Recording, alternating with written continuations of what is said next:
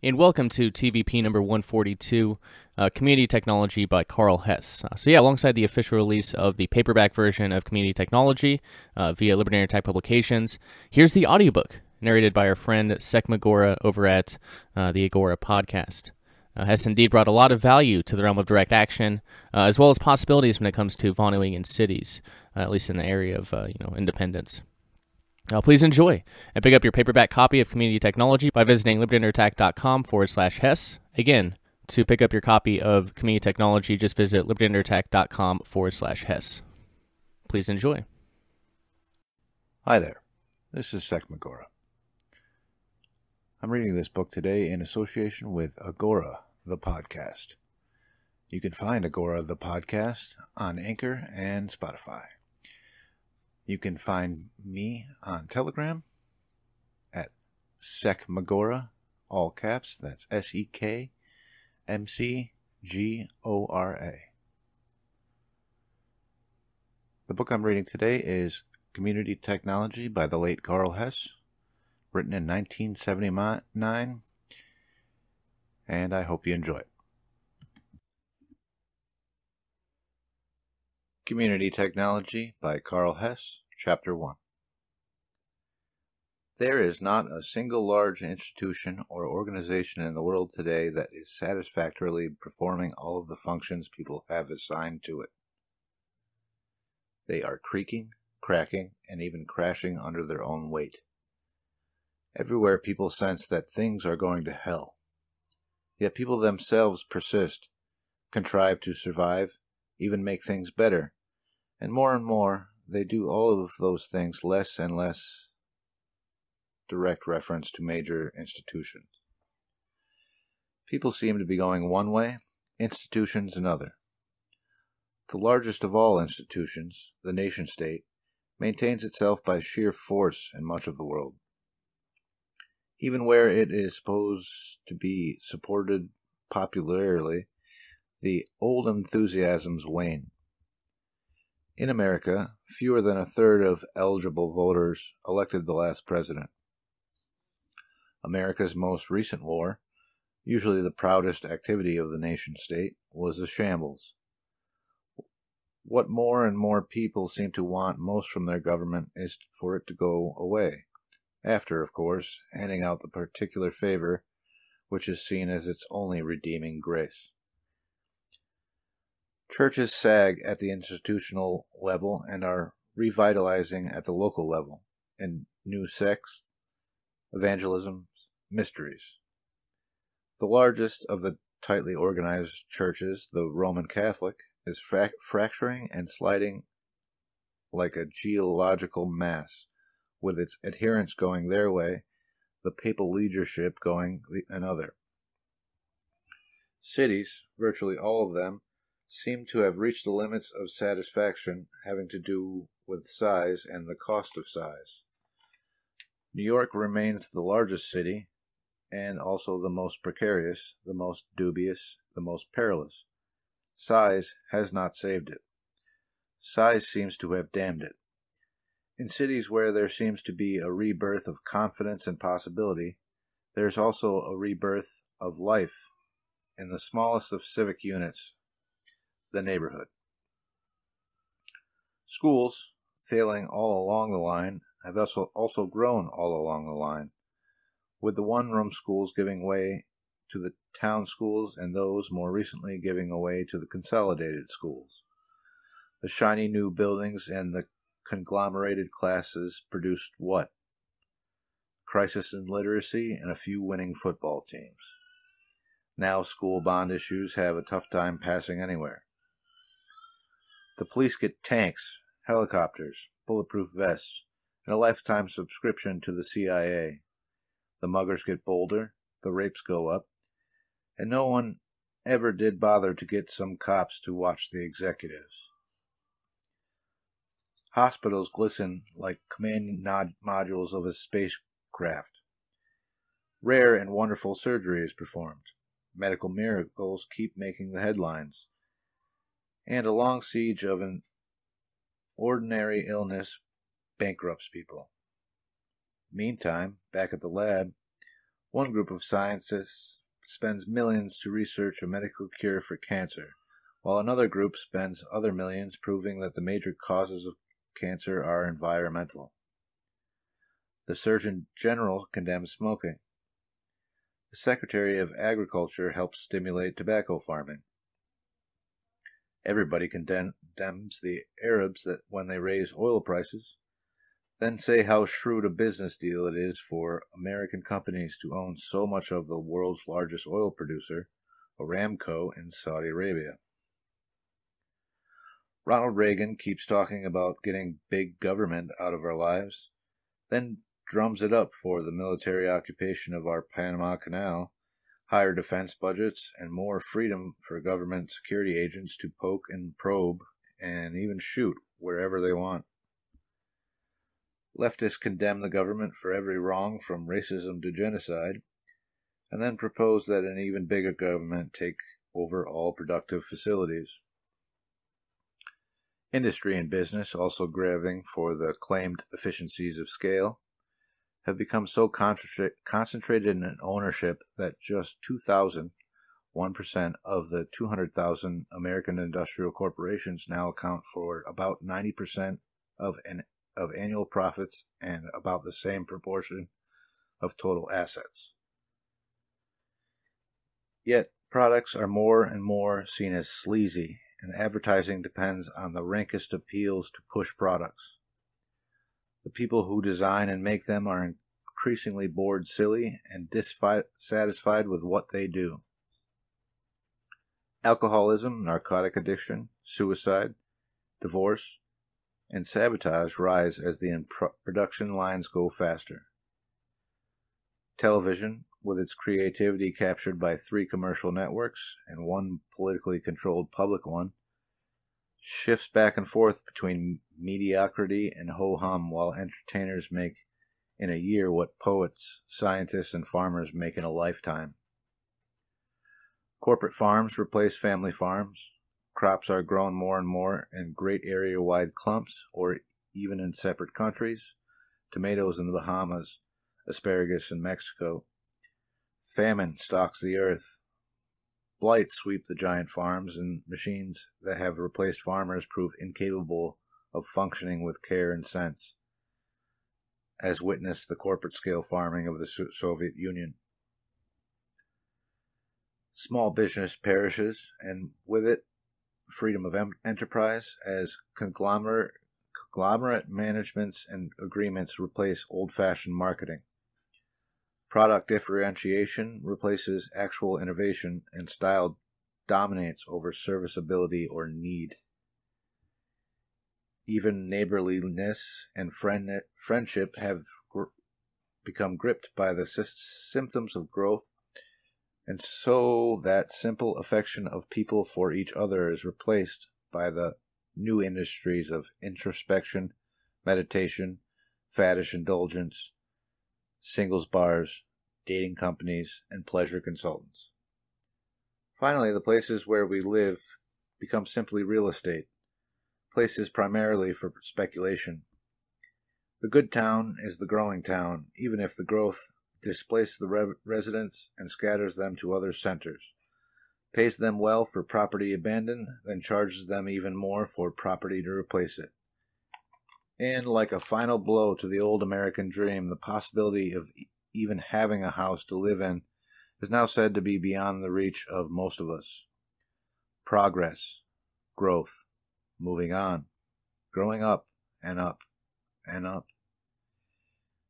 In pathology, one form of unlimited growth is known as cancer. To many, a chamber of commerce, unlimited growth is still called progress.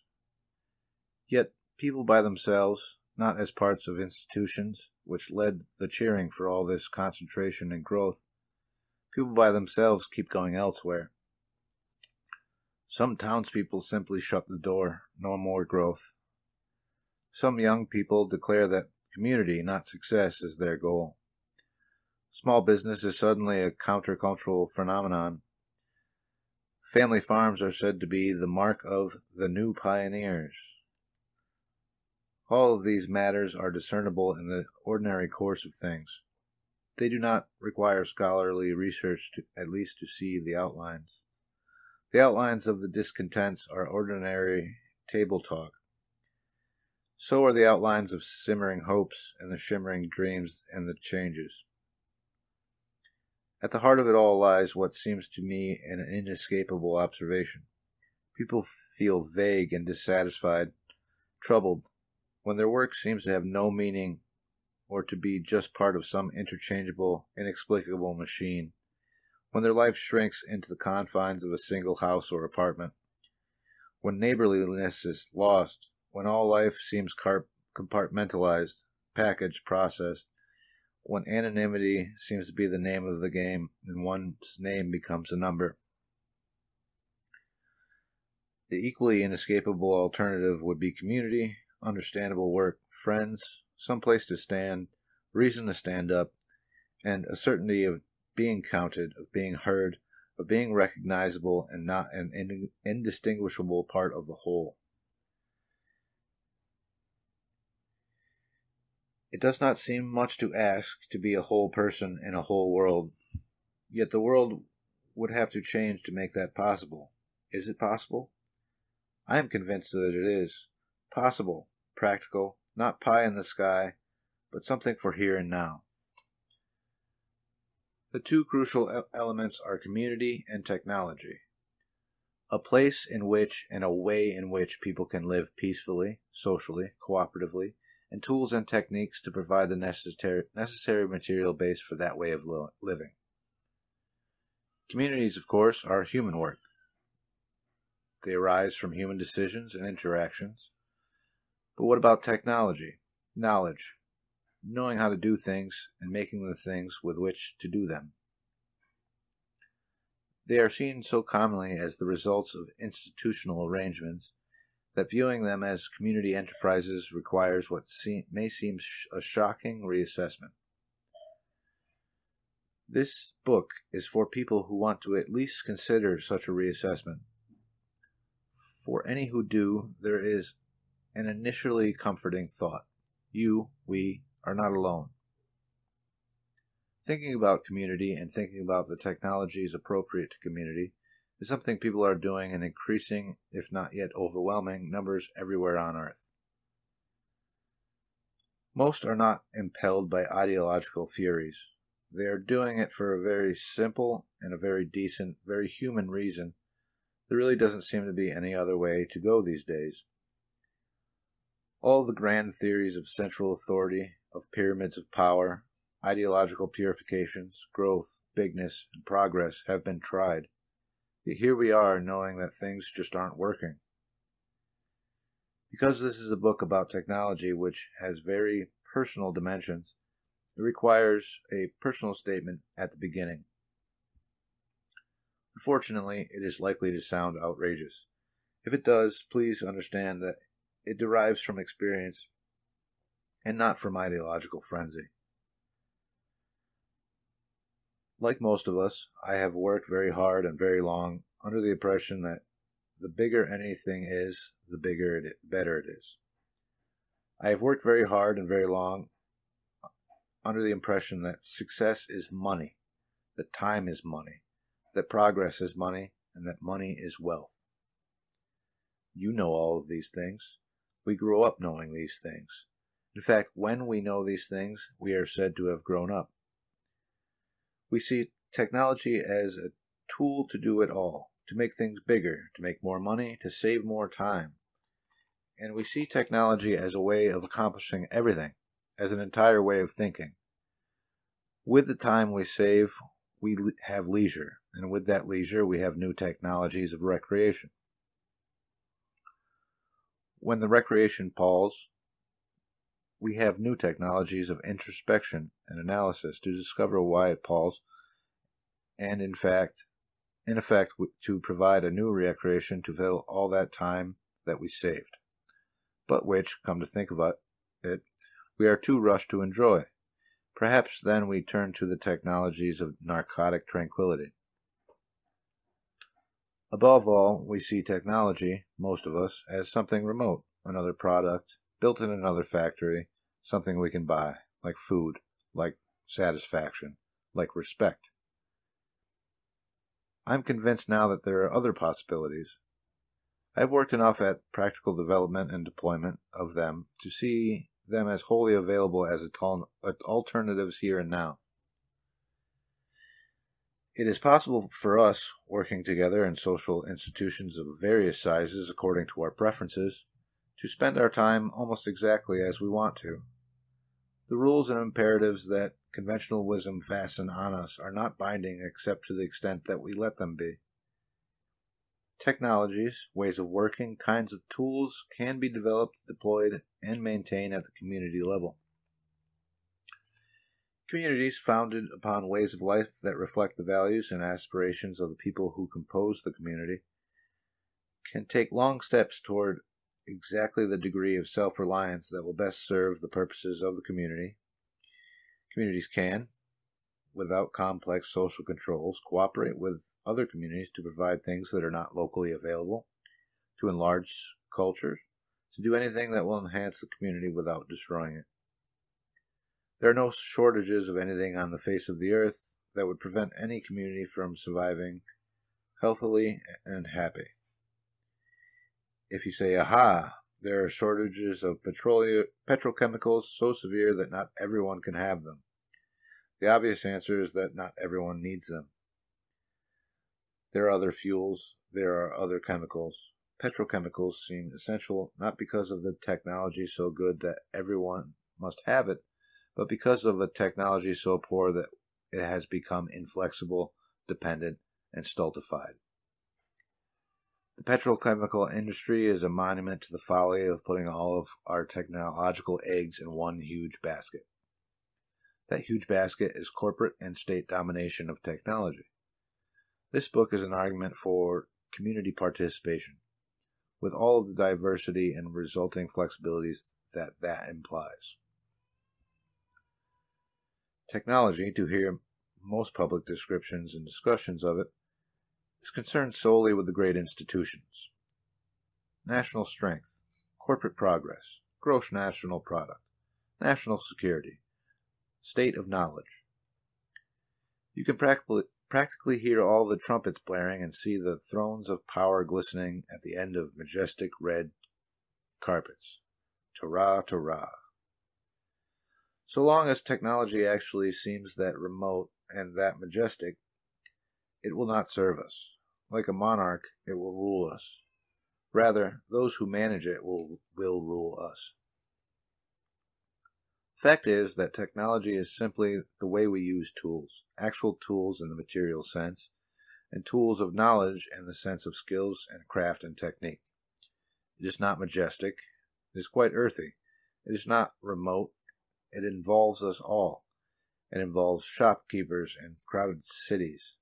It involves farmhands. It involves kids, everyone, people here, people around the world. We are all tool users and knowledge users. From the tribal farmer scratching a seed furrow with a pointed stick to the high energy physicist aligning a particle accelerator, from the shaman to the molecular biologist. Science is another matter. It is a process, one way of observing the natural world, conjecturing about relationships in the natural world, rigorously testing those conjectures, and then making predictions as to performance and occurrence on the basis of those tested conjectures. It is also the process by which, over time, virtually every conjecture, even after acceptance, has been replaced by another. Science is the way of thinking. Science is the way of doing work. Science is when someone, on the basis of a long tested theory or conjecture, predicts it will take so much energy to drive a certain nail into a certain piece of wood, other scientific probing having established descriptions of energy and for the hardness of wood. Technology is when someone attaches a dense material such as a metal to a hand suitable material such as wood tubular steel, or fiberglass to produce the hammer that will impart the arm's energy to the nail. a device that involves another technology based on the scientific notions of friction, which is a theory, and so on and so on. Today, both science and technology are part of a public schizophrenia that is deranging as the that is as deranging as the private kind. On the one hand, virtually all politicians and managers of great economic power, such as the Rockefellers, the Morgans, the DuPonts, and the Fords, seem to regard science and technology as twin goddesses lighting the sky for the greater glory of capital expansion and the empire of businesses around the world. Socialist politicians and businessmen, or ministers of this or that, as they prefer to call themselves, share exactly the same respect for science and technology, and for exactly the same reasons, but with different labels affixed. Socialists and capitalists alike, for instance, feel that the nation, national strength is simply a function of national defense, which in turn is just derived from the nation's state of technological know how. They also feel that no matter what the problem, pollution, for instance, there will someday be a technological cure.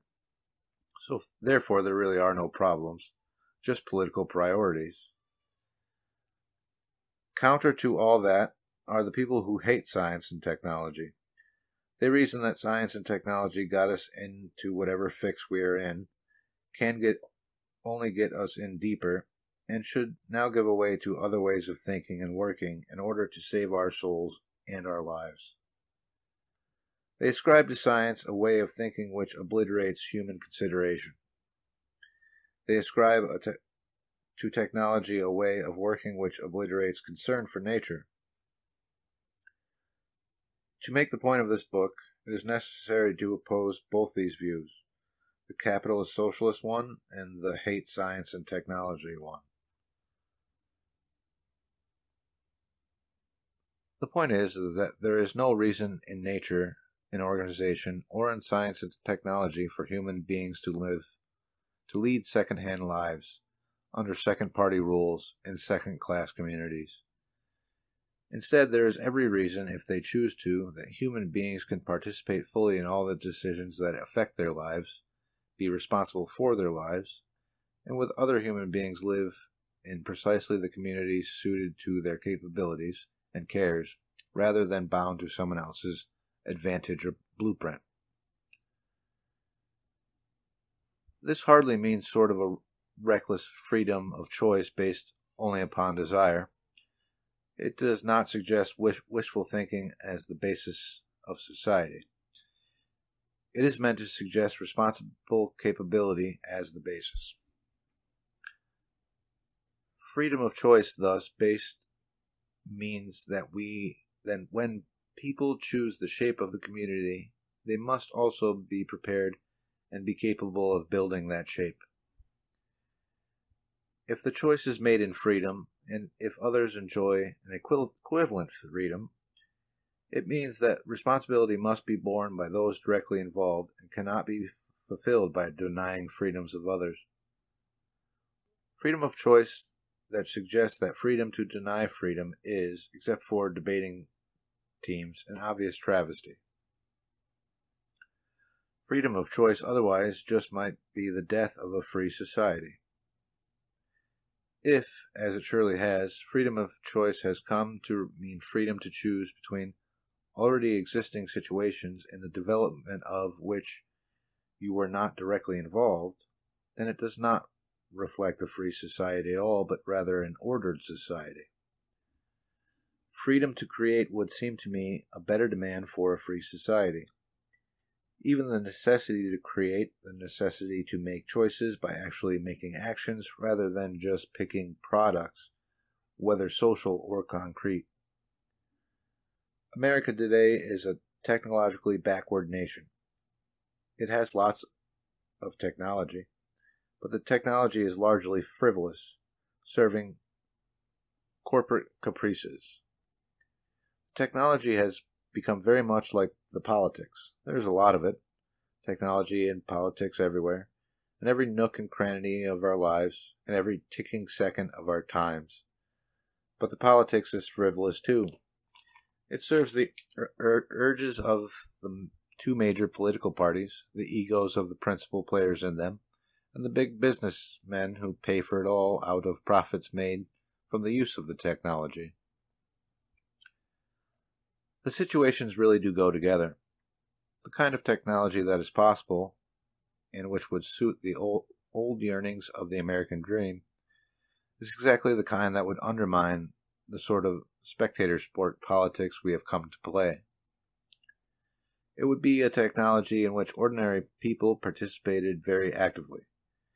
It would be a tool to serve their purposes and make possible the kinds of lives they, and not Madison Avenue, want to live. Having a role in the development, deployment, and maintenance of technology, wouldn't people also want more of a role in politics? Wouldn't they want a politics that makes possible a democratic life rather than politics that makes necessary a life subordinated to the poli- not politics but to the politicians? In politics, a person is not a citizen if the person's only function is to vote. Voters choose people who, in turn, act like citizens. They argue, they establish the forms with, in which people live their lives, they make politics. The people who merely vote for them merely make politicians. People who argue for their positions in a town meeting are acting like consumers picking between prepackaged political items. They had nothing to do with the items. All they can do is pick what is.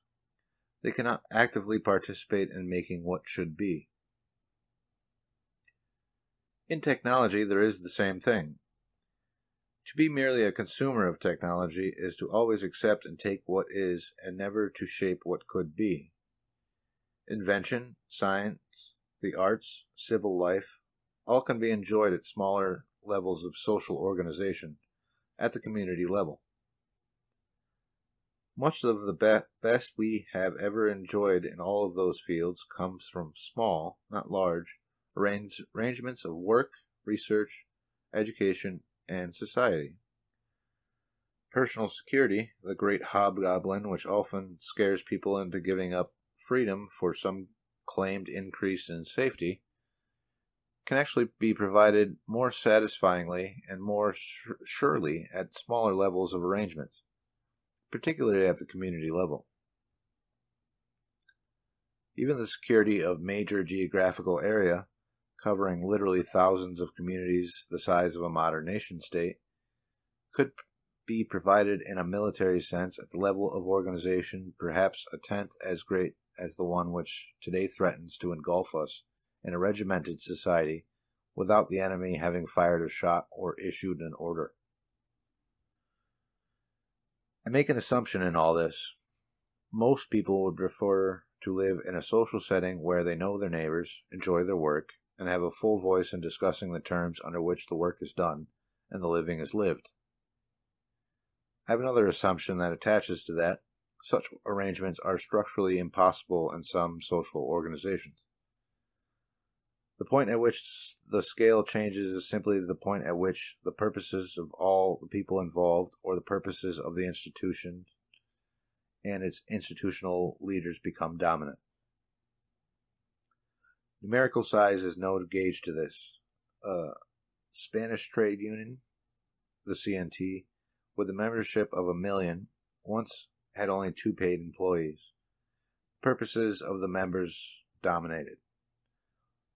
On the other hand, in some very small communities, a single family or a company may totally dominate.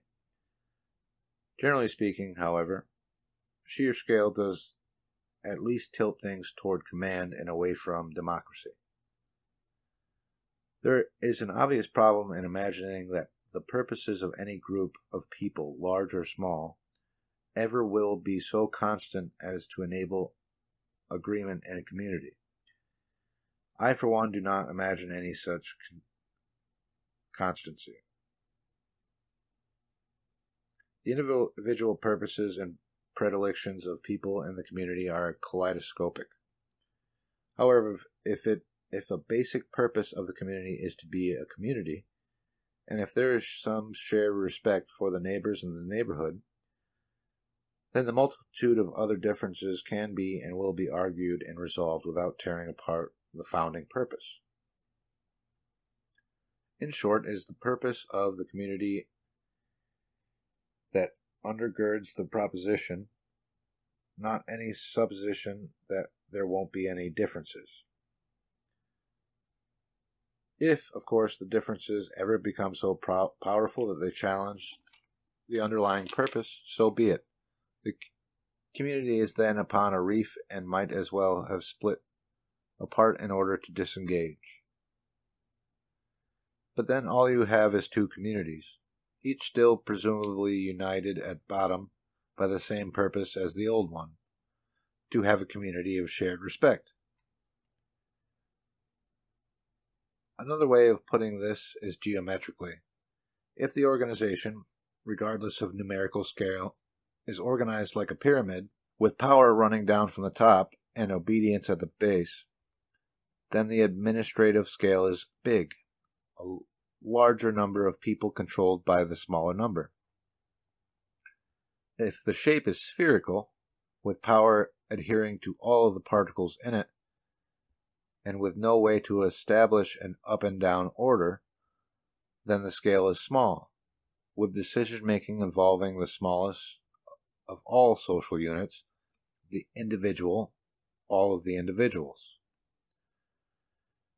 After the assumption that people do indeed want to live in a community, rather than anonymously in some sort of social conglomerate, the remainder of my arguments are not as assumptions, but practical propositions. They are not based upon things that lie in the future, on tools not yet discovered or used, on principles yet to be spelled out. They are based on what we have and what we are today. Still, it seems discordant. If possible and practical, why not present and palpable? If it isn't just dreaming, then why does present reality seem so immutable? No doubt about it. There is, in any discussion of what could be, an overwhelming sense of things as they are, and powerful variations on the theme. I often find myself asking why something isn't done differently, only to hear the answer that 1. There are rules against it. Two, that's not the way we do it. Three, human nature just doesn't work that way. Four, it costs too much. Five, it's too simple, meaning my suggestion, of course. Six, it's too complex, meaning the thing being questioned, of course. Seven, you just can't, that's all. Eight, well, I can't explain why not, but that's the way it is. And besides, if I have to explain it to you, you wouldn't understand anyway. Nine, people just can't do things like that on their own. A, because they don't want responsibility. B, because they aren't smart enough.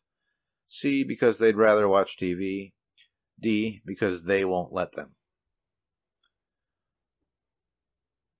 Reality is defined in all of those propositions as the way things are in a purely administrative sense. None of those prop- propositions, not even the one about human nature, describes any hard and fast material reality. Rules are made by people.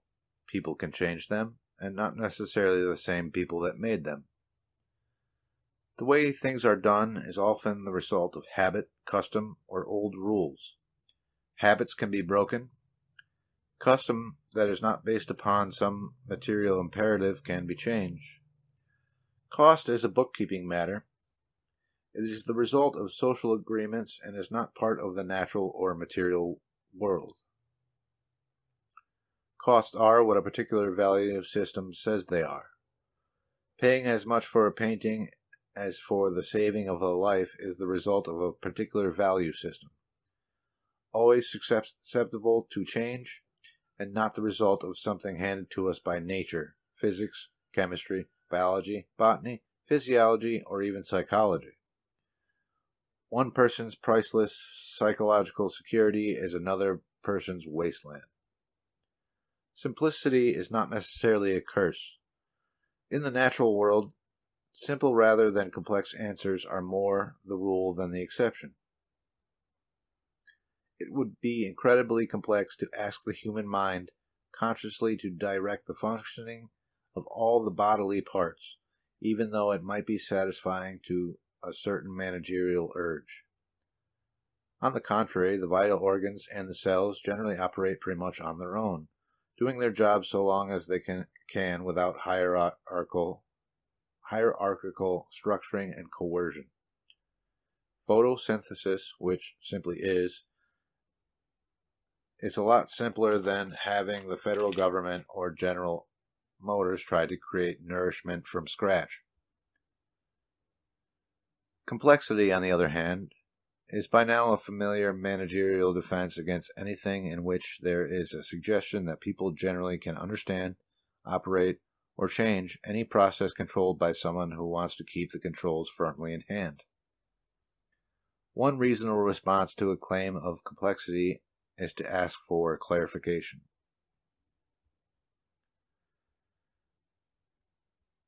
The imperious you can't is just that an exercise of authority, not of reason. It is part of reality in about the same way the Inquisition, Inquisition was a part of religion. Again, it may be a real force, but it is a force that emerges from human purpose, which is changeable, rather than a material or natural imperative which might not be nearly so flexible. It is possible by an exercise of human purpose to stop using petrochemicals as fuel. It is not possible by an act of human purpose to extend the availability of such chemicals beyond their actual availability in the natural world. Things that cannot be explained are things that cannot be explained, and need not detain anyone interested in reality unless that interest focus entirely on the inability of some people to say what they mean. The idea that people can't, won't, or never have done something because most people are this way, or that sometimes people are least rooted in reality.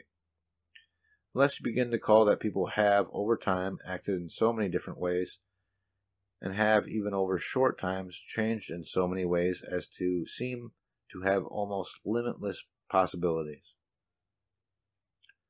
Certainly, there is nothing to suggest that their ways of working and living together are inscribed irrevocably in their DNA. If so, we could scarcely discuss the matter at all. The most acute part of my own reality problem lies in the suggestion that they won't let there be any change. We all define them differently, of course.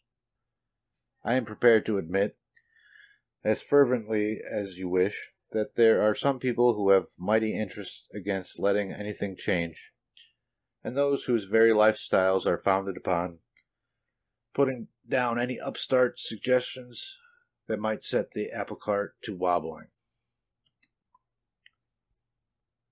Some welfare recipients or pensioners can be understood as not wanting anything to change because of the cynical conviction that it would just get worse. The Rockefeller family hardly seems eager to change for change in the world, unless it is simply a reinforcing of the vast system of wealth which is their own welfare system, making it handily unnecessary to work except as whim dictates. But understanding that to be part of reality is a shallow thing, if it is not accompanied by a deeper appreciation of a reality in which all idlers on earth, to continue with that example, do not amount to any great numerical shakes. The reality is, when most people want something to change, it will change. A few muttering malcontents could scarcely stop it.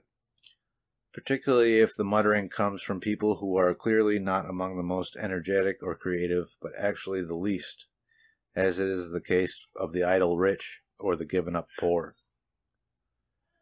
Much of the criticism leveled against this book will call it unrealistic dreaming.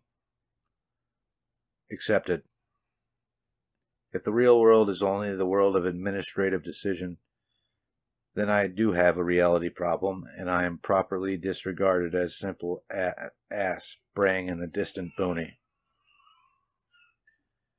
If, however, the real world is based not altogether upon desire, but also upon material reality, and what we know of it, such as physics and chemistry, etc., and what we think of it, such as poetry and philosophy, then administration may be seen as merely one sort of effective opinion and not the law of nature after all. If that is the case, and this book will try to make it, then the criticism of these speculations as unrealistic should be changed to saying that they are merely unpopular. And that in turn might be modified to saying, unpopular right now, but maybe not tomorrow. To pick up your copy of Community Technology by Karl Hess, just visit libertyunderattack.com forward slash Hess. Again, libertyunderattack.com forward slash Hess. And make sure to check out our entire catalog uh, for our full selection of books pertaining to self liberation, uh, Vonu, and uh, you know great libertarian history and philosophy. Uh, again, libertyunderattack.com forward slash Hess.